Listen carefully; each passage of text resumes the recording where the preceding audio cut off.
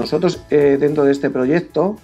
hicimos en su día un trabajo dentro de todos los institutos eh, de, Coslada en secundaria, así como con los colegios, en las que pedimos colaboración y el trabajo era que se hiciese una frase por parte de todo el alumnado con respecto a una frase que nos sirviese pues como de eslogan, como algo que nos identificara con el tema de la lucha contra el acoso. Tuvimos miles de frases y digo miles porque así fue, y ganó una, en la cual para nosotros se quedó como frase muy importante y es que contra el acoso busca ayuda, los héroes también la necesitan.